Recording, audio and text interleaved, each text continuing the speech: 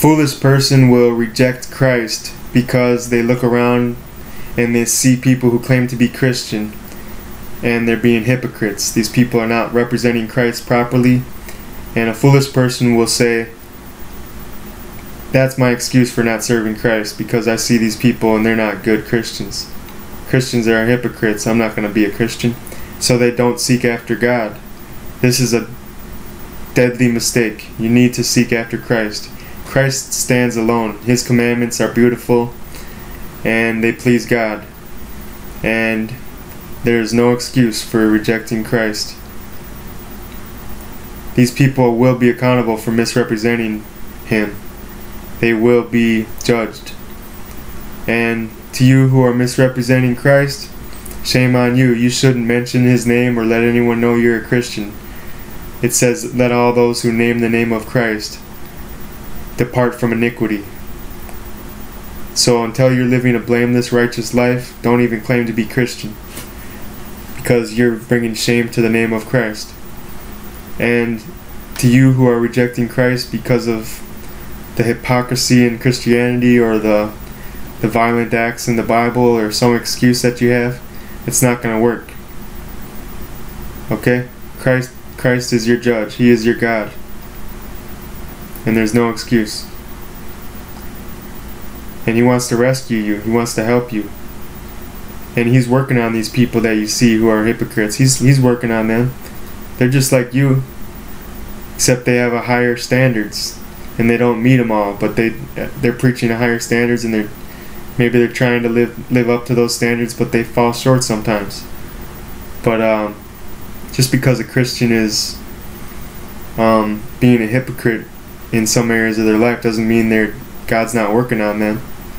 You know, and I've noticed a lot of times the devil, he sees somebody living for Christ and he does his best to get them to go astray. The devil attacks the truth, and that's what's happening. So don't use these people as an excuse to reject Christ.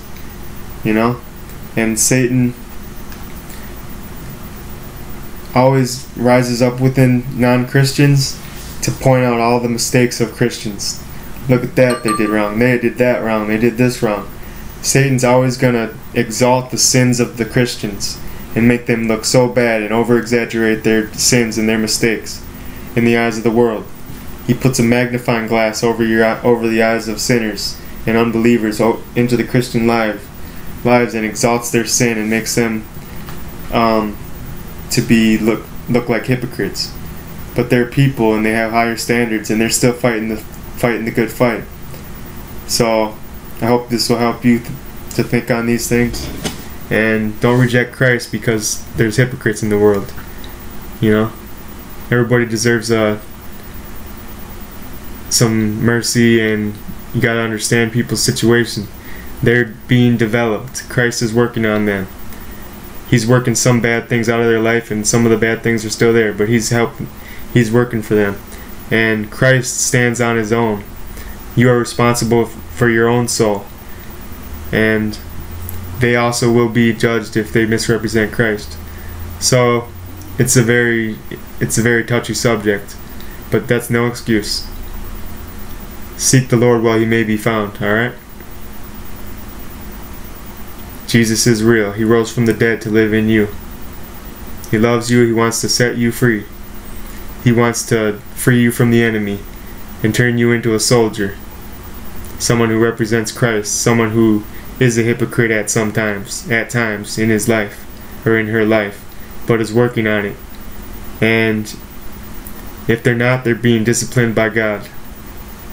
So, we're all humans and we all need mercy and don't let hypocrites keep you from the kingdom of God.